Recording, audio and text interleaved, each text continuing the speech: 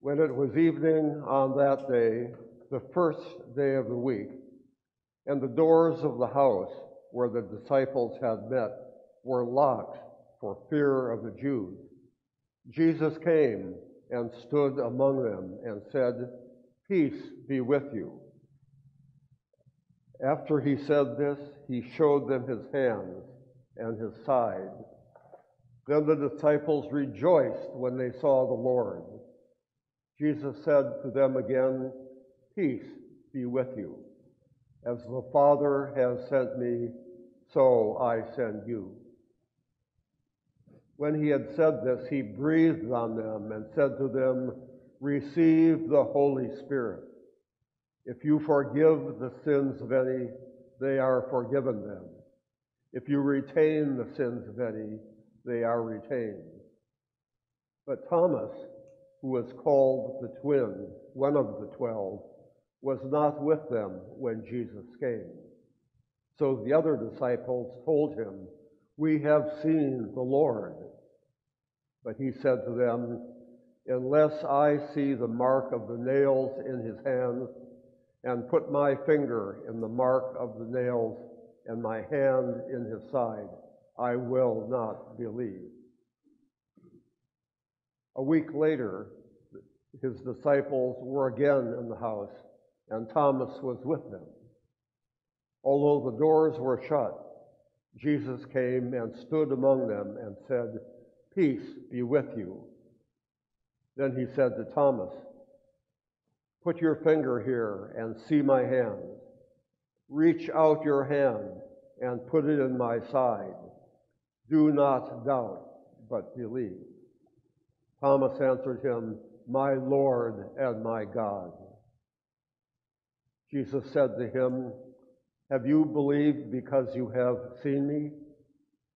Jesus said, But blessed are those who have not seen and yet have come to believe. Now, Jesus did many other signs in the presence of his disciples, which are not written in this book. But these are written so that you may come to believe that Jesus is the Messiah, the Son of God, and that through believing you may have life in his name.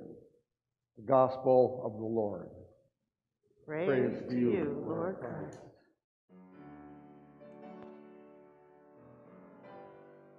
The big celebration of Easter Sunday is over, and what a glorious celebration it was. The flowers, the music, the liturgy, the fellowship, the Hallelujah chorus. It was all so powerful and moving. Today is the second Sunday of Easter. Now, for many people, Easter is finished, but not for us. For us, it has just begun. The church observes not just the day of Easter, which we refer to as the Sunday of the resurrection, but also the season of Easter, which is often referred to as the Great 50 Days.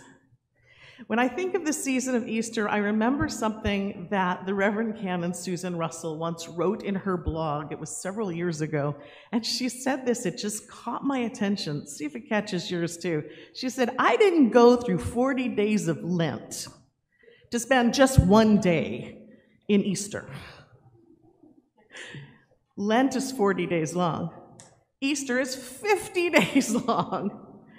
And we want you to know that you are invited to join us as we celebrate all of it, as we rejoice and give thanks to God throughout the whole 50 days. As today's gospel lesson begins, the disciples have gone into hiding. They've locked the doors because they're afraid. Well, of course they're afraid. Look what happened to Jesus. They must have been afraid that they might be arrested too. After all, they were his disciples. Who knows? They might come for them. They might even want to crucify them. It was a scary thought. What happened to Jesus was terrible.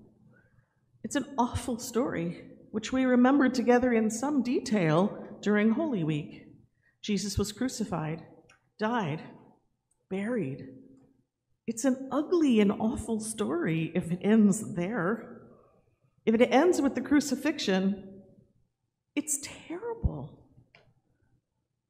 Jesus died, buried. But the story doesn't end there. On the third day, he rose again. Jesus faced death and rose to tell the story. He overcame death, and he was not in the tomb when they came to tend his body on the first Easter morning.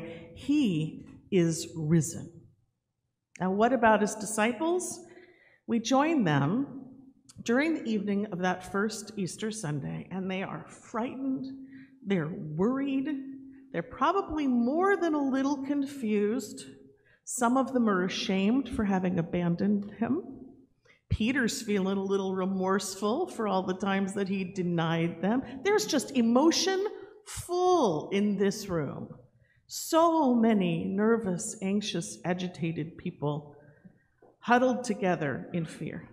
And suddenly, the resurrected Jesus stands among them. I love the sign for that when you stand before somebody, it looks like this. Yeah. Mm-hmm, mm-hmm. Where, where, which one? Okay, so he showed up. She said that she, that, that, she did that one first. He showed up, and then they stand before him. There you go. It's beautiful. It's beautiful to stand before Jesus, to have Jesus in the midst of your fear stand before you. Wow. Couldn't we love to have that when we're in fear? And in a lot of ways, we can and we do. So Jesus enters that room because no locked door is going to stop him. He stands before them, all resurrection, resurrected and glorified, and he recognizes their fear. And he says, Peace be with you. Now, these words, peace be with you, he had used recently with them. If you might remember at the Last Supper, he said, Peace be with you. My peace I leave you. The peace that I give is not as the world gives. Do not let your hearts be troubled and do not be afraid. So when he stands there and he says, Peace be with you, all of that comes forward in their ears, echoes in their minds. Peace be with you is connected with this idea do not let your hearts be troubled, do not be afraid. And after showing them his wounds, he says it again. And he adds some important things. He says, Peace be with you. As the Father has sent me, so I send you. When he had said this, he breathed and said to them, Receive the Holy Spirit. If you forgive the sins of any, they are forgiven them. If you retain the sins of any, they are retained. Wow. Jesus' earthly life and work is finished. But now, now, blessed with the Holy Spirit, these disciples are called to pick up where he left off and continue his mission and ministry. And then, generation after generation after generation, that responsibility was handed down. And today, we are the ones sent to love, to forgive, and to sacrifice on behalf of the world that Jesus loves so much. The world was a fearful place when Jesus walked this earth. And it's a fearful place today, too. Jesus knew this fear perhaps better than anyone. The peace that Jesus offers is not of this world, it's a peace that surpasses all understanding. It makes no sense in the world. But that's okay, because not everything's of the world. It's the peace that comes from knowing that no matter how bad it gets in the world, it's not the end of the story. Easter is the story of transformation, of the opportunity for new life. Hope was gone, but now it's back. Death seemed to win, but Jesus overcame death once for all. What wonderful gifts Jesus gives the disciples in that locked room. He gives them peace so that their hearts don't need to be troubled, so that their minds don't need to be afraid. And He gives them the Holy Spirit to be with them, not occasionally, not now and then, constantly as their companion. I'm going to give you the Holy Spirit. You can take that Spirit and have it with you, and it will provide you insight, interpretation, inspiration, strength.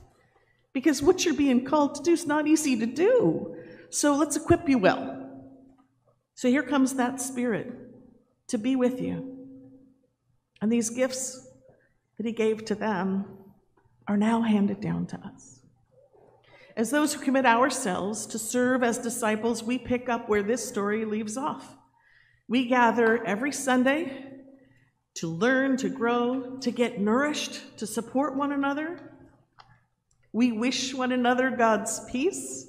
And when we do, we're reminding each other of the wonderful truth that God's story isn't the world's story. God's ways aren't the world's ways. There are plenty of good reasons why the disciples should have been afraid. Their fears were not unfounded. Many of them would eventually be arrested and killed. But in this lesson, Jesus stands among them transformed and offers them the peace that comes from knowing that even death cannot separate us from the love of God. Good will win in the end. God had more in store for them, and God has more in store for us. Whatever we're afraid of, in spite of whatever it is that causes us to occasionally hide and lock ourselves in, no matter how hopeless things may seem, we need to remember these words Do not let your hearts be troubled, and do not be afraid. Thomas was not with them when Jesus appeared to them that night. I don't know where he was, it doesn't tell us, but he was really disappointed that he wasn't there. The other disciples were so excited and they told him the story, and he was just, I don't know, people, I just need to see it for myself. I don't know how much he didn't believe exactly, but it just it couldn't he couldn't fit all the pieces together without seeing Jesus himself. He wanted to, to see his wounds, he wanted to put his hand in Jesus' side, he wanted to have a certainty that sometimes you just don't get. Sometimes you just don't feel, especially when you're grieving. But he longed for it, he hoped for it, he prayed for it. I think we all have trouble believing sometimes. The mysteries of faith don't make logical sense, they aren't rational. The world likes things to be rational. But faith isn't rational. Faith is beyond the rational. It extends beyond the worldly and reaches into the spiritual, which is a whole different realm. Have you believed because you have seen me? Jesus asked them. Blessed are those who have not seen and yet have come to believe. You see, he comes again and he shows Thomas, See my wounds? He says, Peace be with you. We know that means do not let your hearts be troubled, do not be afraid. Here I am. See my side. Listen, you had to see me to put it together. And God bless you. I love you. Go out and do what I've given you to do. But others are going to come who are not going to get to see. And bless them too. May this story be a blessing for the ages, not just for these people, but for all the people because Jesus loves everybody. It's a, it's a great and tremendous love story. So, this gospel lesson speaks to us of doubt and fear, and we all have doubts, and we certainly have plenty of things to be afraid of, and that's okay because God loves us. Even when we're afraid, the Holy Spirit is with us, even when we have doubts, even when we're unsure. God who creates life has given us this day, these bodies, the talents that we have, the abilities we have, the connections and the resources that we have, all of it. In addition to that, He gives us peace and the Holy Spirit to hang on to. And even more, because God just keeps giving and just keeps forgiving, God also gives us the community of St. Paul's. He gives us one another to be on this holy journey together with. We are the church, and we need to be willing, even when we're afraid, even when we're not sure, even when we have doubts, we need to be willing to go walk out into that world and shine as the light of Christ. The peace of the Lord be always with you. Do not let your hearts be troubled, and do not be afraid. This is not the end of our story. This is just the beginning. And so the celebration continues. Happy Easter. In the name of the Father, Son, and Holy Spirit. Amen.